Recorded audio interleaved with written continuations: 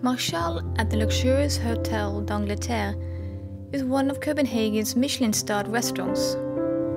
Overlooking Kongens Nytorv, the location is great. You enter the restaurant through the hotel's main entrance and head left through the glass doors when passing the reception area.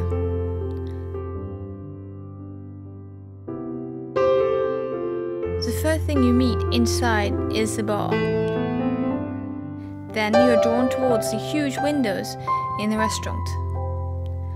The restaurant had a full makeover a few years ago and is now as stylish as the rest of the hotel.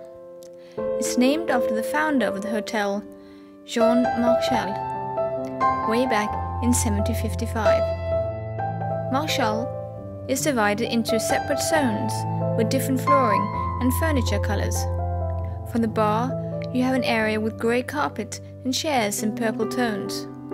Then you have another area with dark wooden floors, and in front of the windows, tiles in light colors. Both with furniture in different color tones, everything in great harmony. The tables in front of the huge windows have white linen, while the rest of the restaurant follow the trend without linen. When dining at Marchal, you can expect great food and quite steep prices. The food is modern Nordic style with a French foundation. As described in the 2019 Michelin Guide, using top quality ingredients, dishes with distinct flavors are carefully prepared to a constant high standard.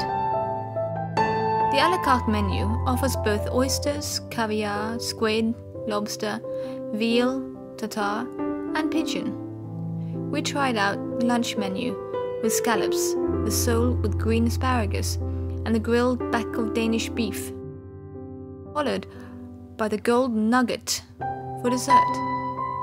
All excellent.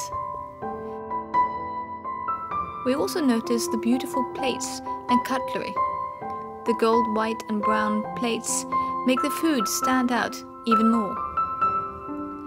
The lunch menu also has a selection of different snacks.